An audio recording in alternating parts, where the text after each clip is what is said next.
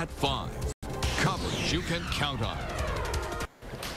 One house in Orlando could up end, end, up having two families facing foreclosure. A family bid in an online auction on a foreclosed home in the Meadow Woods subdivision.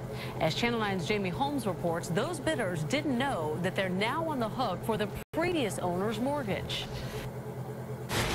Kenneth DeLisi and his wife are boxing up everything they own, waiting for the sheriff to come and evict them. Tonight, there is only a driveway between them and the street. This is terrible.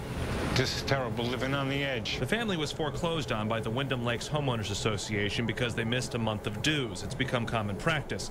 Their home went to auction on the Orange County Clerk's foreclosure website, and a third party, unbeknownst to the DeLisis, bought their home for $16,000.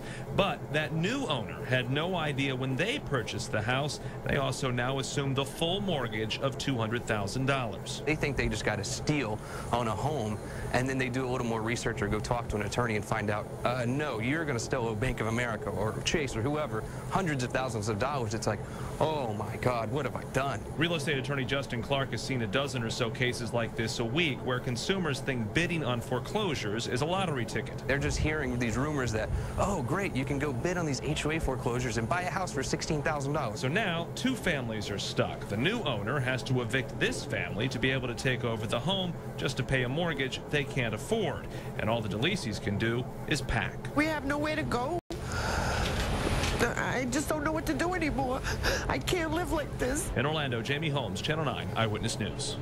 Now, before you do any online bidding, you need to do a title search on the property appraiser's website.